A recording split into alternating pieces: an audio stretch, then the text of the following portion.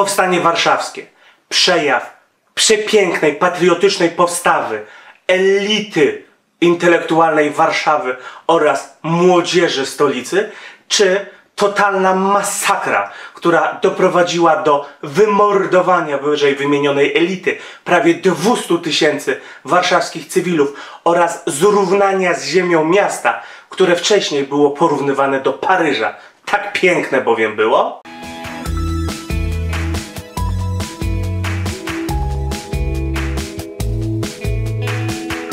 Nadchodzi kolejna rocznica Powstania Warszawskiego i w mediach aż huczy od wypowiedzi przeróżnych komentatorów.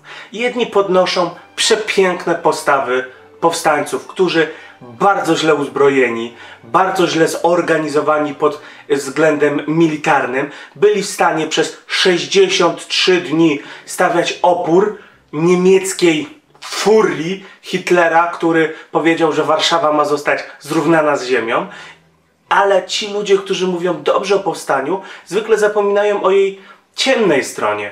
O tym, że właśnie tak jak powiedziałem we wstępie, że miasto zostało zrównane z ziemią, że elita patriotyczna Polski została wyrżnięta, że zginęło wielu, ale to bardzo wielu cywilów. Często w straszliwych okolicznościach. Na przykład małe dzieci poumierały z głodu Dokładnie tak było. O tym ci wszyscy ludzie, którzy pokazują piękno powstania, nie mówią. Z drugiej strony są ludzie, którzy pokazują właśnie tą złą stronę powstania. Mówią, że powstanie to była klęska, że to było do przewidzenia, że ci wszyscy ludzie, którzy brali udział w powstaniu są praktycznie zbrodniarze wojenni, bo doprowadzili do właśnie do tego wszystkiego, co powiedziałem, czyli do zniszczenia miasta, do piekła zgotowanego cywilom, że ci żołnierze tak naprawdę to powinni się wstydzić, powinni się wyspowiadać, a w ogóle to powinni zostać uznani za zbrodniarzy wojennych. Powiem wam szczerze, że jak słucham te pierwsze wypowiedzi, to mi się cieplej robi na sercu, ale wiem, że to jest takie wygładzanie historii, które mm, doprowadza do jej zafałszowania, w wyniku którego tego zafałszowania szkodzi się dzisiejszym pokoleniom, bo mm, historia jest po to, żeby wykonywać, wyciągać z niej wnioski i nie robić błędów w przyszłości. Natomiast jak słucham tych drugich, to zastanawiam się, czy to nie są czasem jacyś agenci, y, którzy celowo albo w ogóle jacyś bardzo, bardzo dziwni ludzie, którzy znęcają się nad polskimi patriotami. A oto co ja o tym wszystkim sądzę. Słuchajcie, najpierw troszeczkę wstępu, bo żeby zrozumieć o co tak naprawdę chodziło w Powstaniu Warszawskim, um, trzeba, żebyście troszeczkę wiedzieli, to jak większość rzeczy w historii, nie ma wydarzeń, które się tak po prostu dzieją. Nie można tego wszystkiego rozpatrywać jako wycinek. Trzeba wiedzieć skąd się to wszystko wzięło, do czego miało prowadzić i tak dalej. No więc jakby to ładnie powiedzieć, e, powstanie warszawskie było czymś, było przeprowadzone w ramach akcji Burza. Akcja Burza była w teorii bardzo, ale to bardzo fajnym rozwiązaniem. Generalnie główny, e, chwileczkę tutaj, dowódca Armii Krajowej oraz naczelny wódz i w ogóle tam wierchuszka ichna wymyśliła sobie taką bardzo fajną rzecz żeby nie dać się wyzwolić Rosjanom. No bo wiadomo, e, gdyby Rosjanie, oni myśleli sobie tak, jak Rosjanie nas wyzwolą, to sowietyzują nam ten kraj totalnie, bo powiedzą, że tutaj nie było żadnych struktur państwowych, nie było tutaj totalnie nic, że w zasadzie zagarną ziemię i dla dobra ludzi wciągną ich do Związku Radzieckiego. W związku z tym mm, rząd polski na uchodźstwie i władze podziemne chciał pokazać, że tu ta Polska zawsze jest i tak naprawdę to wy nas nie tyle mm, i wy nam tylko pomagacie odzyskać niepodległość. To jest dobre słowo. W związku z tym oni sobie wymyślili takie coś, że jak się czoło Armii Czerwonej będzie zbliżało, mm, to Polacy mają zacząć właśnie struktury akowskie, struktury partyzanckie, mają zacząć powstanie, albo E, przynajmniej robić bardzo dużą dywersję na tyłach wycofującej się Armii, Czerwo y, Armii Niemieckiej oczywiście. Tuż przed wkroczeniem Armii Czerwonej cywilne struktury państwowe państwa podziemnego miały się ujawnić i przywitać ruskich jako, jako prawowici rządzący, prawowici namiestnicy, że się tak wyrażę, tej ziemi. Czyli chodziło generalnie o to, żeby Ruscy nie wchodzili do takiej ziemi niczyjej, tylko wchodząc widzieli, słuchajcie, cześć, tu my jesteśmy Polacy, fajnie, że jesteście, my chwilę temu żeśmy się sami wyzwolili, no to super, że jesteście, lećcie dalej, bo tam są kolejni, ym, komu trzeba pomagać. Zamysł teorii zajebisty. A K, tak mówię w ogóle w skrócie, ja tutaj też używam bardzo dużo uproszczeń, bo gdybym robił taki typowy wykład historyczny, to nie dość, że on by e, zajął kilka do kilkunastu godzin, to jeszcze śmiem twierdzić, że byłby tak skomplikowany, że dużo osób by go nie zrozumiało. I nie dlatego, że Mówię to nie dlatego, że nie doceniam Ciebie, drogi widzu, tylko dlatego, że trzeba tutaj by przyswoić taką liczbę wiedzy, taką liczbę niuansów, że po prostu tego głowa boli, jak się taką liczbę yy, wiedzy, taką ilość wiedzy przyswaja w krótkim czasie. Mnie też rozbolała, a przyswajałem ją przez ładnych kilka dni, bo przygotowywałem się do tego materiału kilka dni. A więc w teorii wszystko super. Kierownictwo państwa podziemnego nie przewidziało tylko jednego że komuniści to pieprzoni zbrodniarze wojenni. Komuniści wymyślili sobie coś takiego. Okej, okay, pomoc Polaków, polskich partyzantów przyjmowali, ale zaraz po tym, i to nawet tacy niscy oficerowie e, w Armii Czerwonej bardzo często w tak zwanych raportach dziennych, czy w raportach z bitew, przyznawali, że Polacy byli świetni, że bardzo dobrze walczyli, że to są bardzo dobrzy żołnierze. Tam naprawdę wielki szacun był, mówiąc dzisiejszymi słowami, ale już ci oficerowie polityczni i wyższe szarże mm, Armii Czerwonej już były, że się tak wyrażę, przeszkolone politycznie. I oni wiedzieli, co trzeba robić. A trzeba było robić to, że władze państwowe były natychmiast aresztowane, yy, oficerowie armii podziemnej polskiej byli natychmiast Mm, aresztowani, a żołnierzom dawali wybór. Chłopaki, albo natychmiast składacie broń i was wcielamy do siebie, tutaj do armii polskiej idącej przy armii czerwonej, czyli właśnie do tych komunistów i zapominacie, że kiedykolwiek byliście jakowcami kapitalistycznymi świniami, albo łagr. No, no nie fajnie, że się tak wyrażę. I pomysł na powstanie warszawskie był dokładnie taki sam.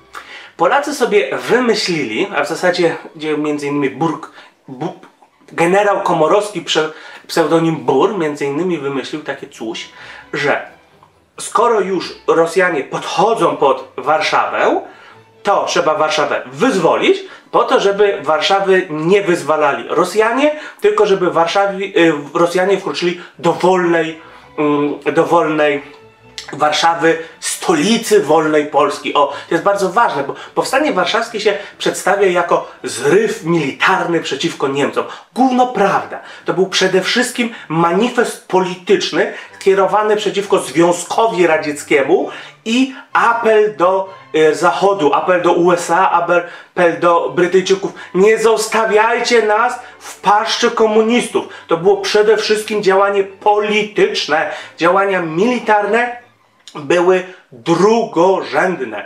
Tak.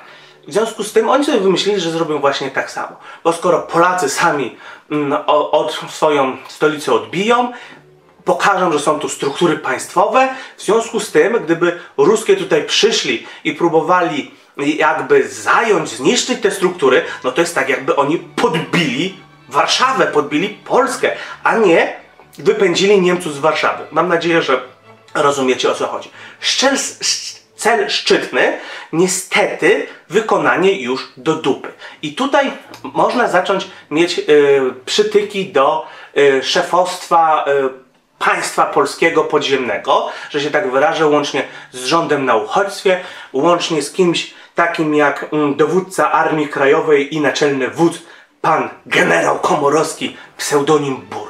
Bowiem jest takie mm, przysłowie, a w zasadzie taka definicja obłędu wariactwa. Wiecie, jak, ona brzmi tak, że powtarza się w kółko te same czynności w nadziei, że dostanie się inny wynik. No to mam wrażenie, że generał Komorowski był szalony albo był zbrodniarzem wojennym.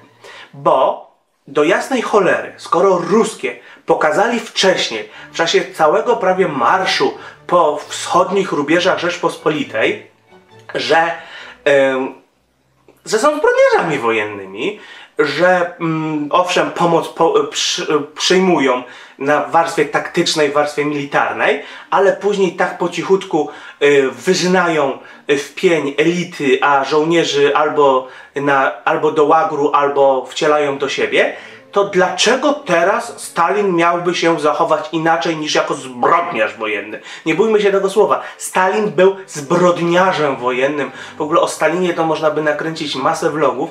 Wiecie, że Stalin wymordował więcej Rosjan niż Hitler? Tak. Stalin był jedynym człowiekiem, który wymordował więcej Rosjan niż Hitler. Brawo dla tego pana. Problem jest taki, że Hitler to mordował Rosjan jako wrogów, a Stalin mordował ich jako własnych obywateli. No to oni powinni byli przewidzieć to, co się stanie. A stało się to, że Stalin stwierdził, dobra, to niech to powstanie się wykrwawi, mam to w dupie. Stanę sobie e, na granicy, na granicy Wisły ze swoim wojskiem i poczekam, aż powstanie upadnie, a jak powstanie upadnie, to sobie zajmę te zgliszcza, już znowu kontrolowane przez Niemców. I od, pod tej strony, od strony naczelnego dowództwa jest prawdą, że mm, inaczej, przywódców powstania można oceniać negatywnie. Powiem więcej.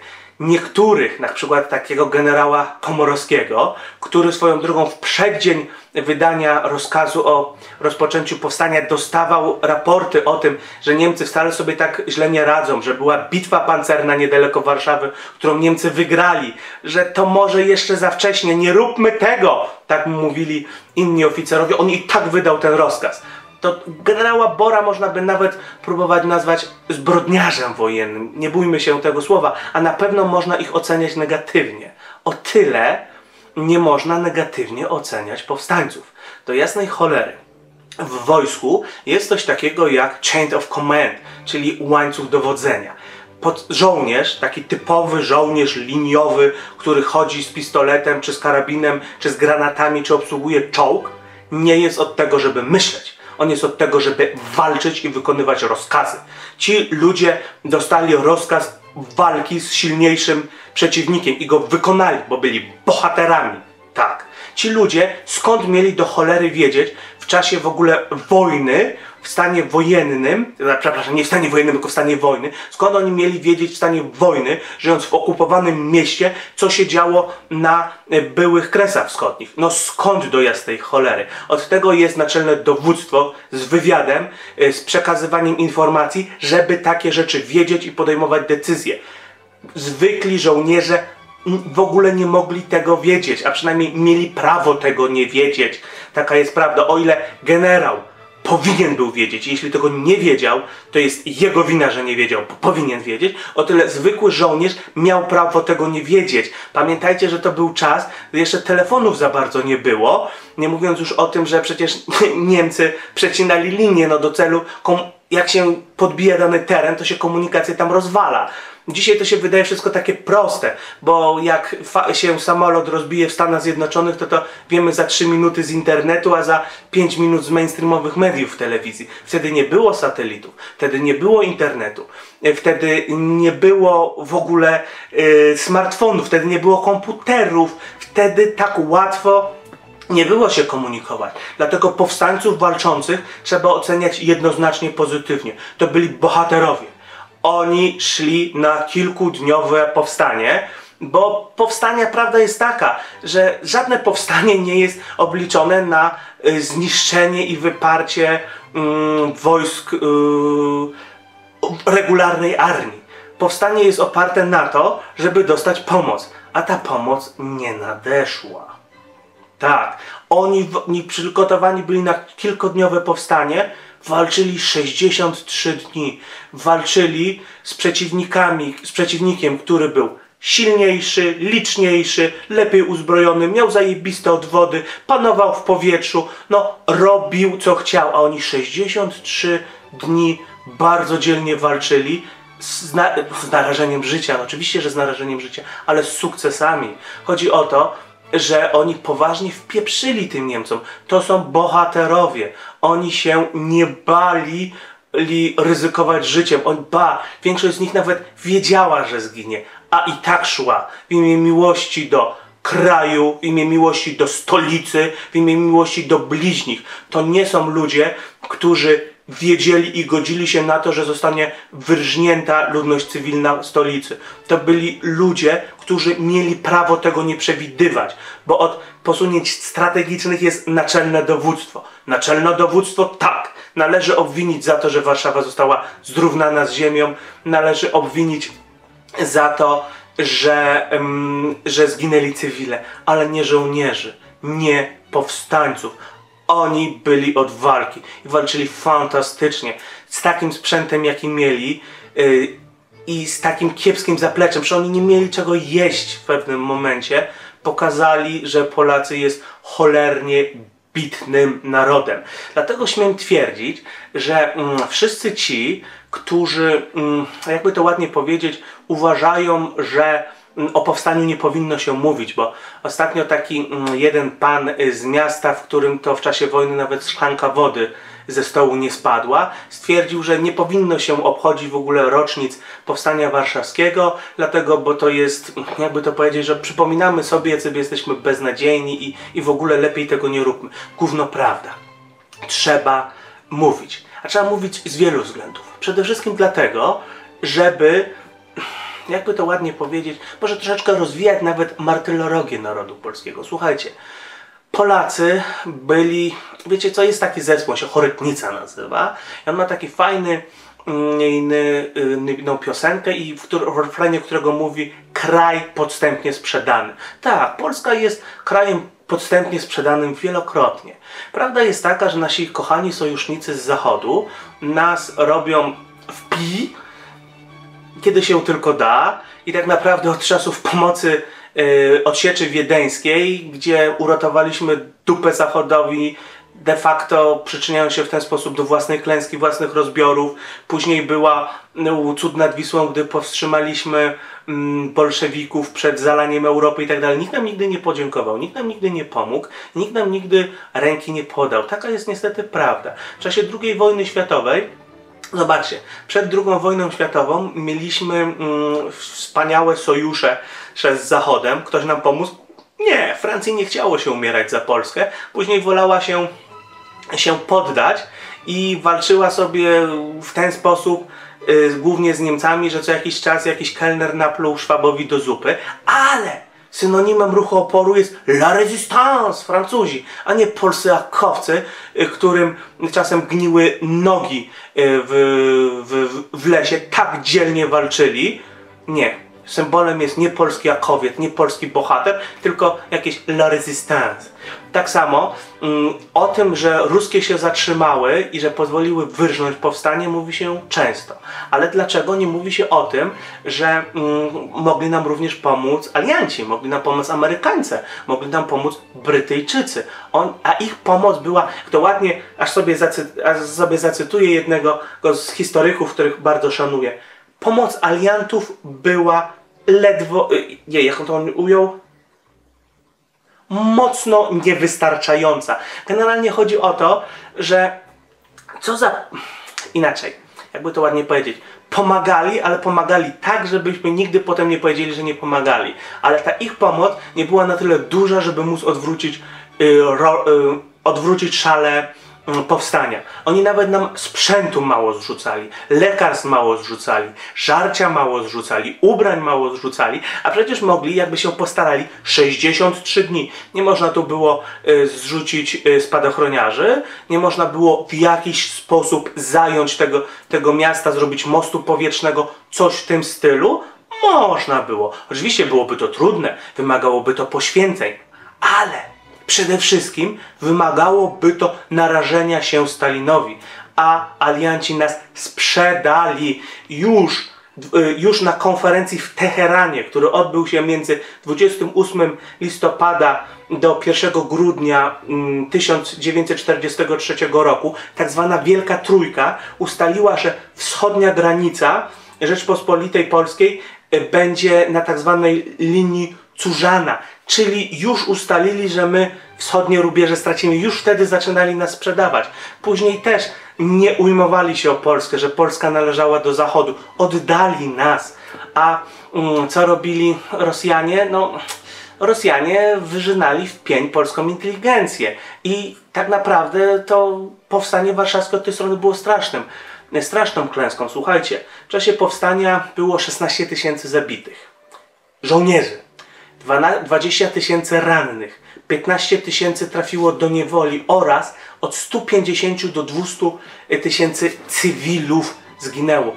Bardzo, bardzo dużo ludzi. To byli mieszkańcy stolicy, to była elita intelektualna nie dlatego, że, mm, że, że mieszkali w stolicy, ale akurat tak się złożyło, że to właśnie elita intelektualna się e, do walki rwała. To byli ludzie odważni, to byli ludzie, którzy nie uciekali i oni zostali wyrżnięci. Dzięki powstaniu warszawskiemu również Rosjanom po po wojnie było łatwiej namierzyć polską elitę i ją po prostu wyrżnąć. Y, no, co się działo w katowniach akowskich, tu nie akowskich, tylko, y, tylko ubeckich i esbeckich. Zawsze mi się myli, czy Urząd Bezpieczeństwa, czy Służba Bezpieczeństwa. Co było pierwsze, wybaczcie. No to oni po prostu robili czystki. Mówi się, że mm, najlepiej się rządzi narodem, który jest głupi, a najlepiej jeszcze skłóconym. A inteligencja jest czymś takim, jak, jak to się ładnie mówi, um, układem nerwowym całego państwa, całego narodu. Jeśli więc zniszczysz układ nerwowy, a pozostałe organy ze sobą skłócisz, to ci się bardzo łatwo takim państwem rządzi. I to zrobili ruskie. Ruskie wyrżnęli intelektualistów i sprowadzili, lub sprowadzili ich do poziomu nizi, nie pozwolili im rządzić, natomiast na piedestał wy, wyłożyli ludzi głupich w dodatku znaczy głupich z nizin, jak to się ładnie mówi. Y, ja nie, ja nie uczony panie, ja za dziedzica w polu pasał, to się trochę na psychologii znam, z armią rosyjską tutaj przyszedłem. To jest cytat z jednego mm, z wysoko postawionych kolesi z UB, z Urzędu Bezpieczeństwa, który katował polskich patriotów, polskich powstańców. Podajesz cytat z filmu um, Pułkownik Kwiatkowski. Bardzo fajny film, warto obejrzeć swoją drogą. Słuchajcie, później mieliśmy skłócanie narodu. Na przykład skłócanie narodu szczucie na Warszawę. Bo tak się jest tak złożyło, że po wojnie mimo wszystko ta no, zawsze w stolicy jest elita patriotyczna i intelektualna. Chociażby dlatego, że tutaj jest Sejm, tutaj przed wojną Sejm to wcale nie było tak jak dzisiaj, że zbiegowisko oszustów, złodziei i ludzi, którzy chcą się nachapać. Tutaj były, były rządowe, te wszelkie centra. No ta elita z siłą rzeczy tutaj ciągnęła, dlatego później było szczucie na Warszawę. Na przykład, mm, słuchajcie, mm, do odbudowy Warszawy celowo użyto y, cegieł y, z, ze zburzonych, specjalnie zburzonych kościołów z Warszawy, y, z Wrocławia po to, żeby szczuć wrocławiaków na warszawiaków. Nie po to, żeby wrocławiacy nie lubili ruskich, którzy tutaj byli okupantami, tylko żeby nie lubili warszawiaków. No drogą, to jest temat na ciekawy, oddzielny vlog, dlaczego ludzie nie lubią warszawiaków. A to, że do dzisiaj się ten mit pokutuje, to wiem chociażby dlatego, że na meetupie pewna cosplayerka mi właśnie powiedziała, o z Warszawy jesteś, a taki sympatyczny. Kurde, nie lubię warszawiaków. A czemu nie lubisz warszawiaków? Znasz jakiegoś? No nie, jesteś pierwszy. Ale z, Wrocł z wrocławskich kościołów cegły brali na odbudowę Warszawy. To gdzieś pokutuje, to gdzieś tak jest. I słuchajcie, właśnie z tego się bierze takie polskie cebulactwo, bo jak się jakimś krajem rządzi, jakiś teren okupuje, to się nie chce, żeby, mm, żeby na okupowanym terenie z ludności autoktonicznej, można chyba tak powiedzieć, wyrastały jakieś wybitne jednostki, czy to intelektualnie, czy to, czy to chociażby majątkowo, czy to zaraz. Niech oni będą zwykłymi robolami. I stąd się właśnie bierze podsycanie takiego polskiego cebulactwa, które przez tyle lat miało miejsce, że do dzisiaj pokutuje. Wiecie, jest na przykład taki PewDiePie, to jest jeden z popularniejszych let's playerów, on zarabia miliony na YouTubie, miliony dolarów. I dlatego, że zarabia miliony dolarów, to jest powód dla jego widzów, żeby go jeszcze bardziej szanować. Na polskim YouTubie, jak się powie, że zarabiasz jakieś pieniądze na tym, to od razu jest jest gnojenie, jest źle, jest bardzo źle. Gdybym teraz wam powiedział, że słuchajcie, ze względów, yy, ze względów no, przychodowych, ze względów zarobkowych, żeby mieć pieniądze na funkcjonowanie tego kanału, w opisie zamieściłem yy, reflinki do trzech gier związanych militarnie oraz do gry Heroes of Might and Magic, bo potrzebuję pieniędzy na funkcjonowanie tego kanału. No to co najmniej 10% Was zacznie bultupować, zacznie mieć e, cebulaszcze myśli. Moi widzowie nie, bo moi widzowie są już w pewien sposób ukształtowany, że w zarabianiu na pasji, po to, żeby móc pasję rozwijać, nie ma nic złego. Ale ogół cebulactwa nie. A ponieważ ten film jest taki, że dotrze do owych, do wielu ludzi, to będą hejty. I właśnie dlatego tak zrobię. Macie w opisie te linki, zrobimy test, zobaczymy, czy ludzie będą się rejestrować, wać, yy, mimo tego, że wiecie, że sobie na tym zarobię po to, żebym mógł wydać forsę na robienie jeszcze lepszych filmów, czy będzie hejt i zgłaszanie filmu. Zobaczcie, tak to mniej więcej jest. Zobaczymy. Natomiast wracając do tematu głównego. Słuchajcie, kochani. My, Polacy, byliśmy bardzo, ale to bardzo skrzywdzeni przez historię. I powinniśmy to Zachodowi wypominać. Zobaczcie, w Polsce nie można powiedzieć słowa Żyd bo jak się powie słowo Żyd, to jest się antysemitą. Ale ja mimo wszystko to powiem. Powiem słowo Żyd, Żyd, Żyd. Żyd jest osobą, od której powinniśmy się uczyć. Żydzi na swojej martyrologii, zwłaszcza z czasów II wojny światowej, zbudowali coś wielkiego, coś przez co zyskują wiele, wiele na arenie międzynarodowej. My, Polacy, w czasie II wojny światowej straciliśmy więcej niż Żydzi. My Polacy też ginęliśmy masowo y, w obozach zagłady. My Polacy też byliśmy, a może nawet przede wszystkim byliśmy robotnikami przymusowymi w fabrykach niemieckich. Babcia mojej żony była robotnicą przymusową, do dzisiaj żyje. Jakie ona rzeczy opowiada, to jest masakra.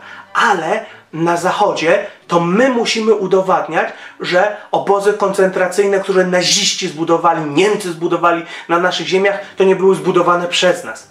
Żydzi zyskują na tym, że mówią o tym, jak bardzo byli krzywdzeni w czasie II wojny światowej. My też musimy. My też musimy y, przypominać światu, że w czasie II wojny światowej zostawili nas samych sobie, że zostawili nas później na pastwę Rosjan, że w czasie, drugiej, w czasie powstania warszawskiego to nie tylko Stalin pozwolił wyrżnąć to powstanie, alianci też mogli tutaj rzucić więcej sprzętu, mogli tutaj rzucić więcej zaopatrzenia, mogli tutaj rzucić jakąś dywizję powietrzno-desantową. Niech nie mówią, że nie mogli. A co robią?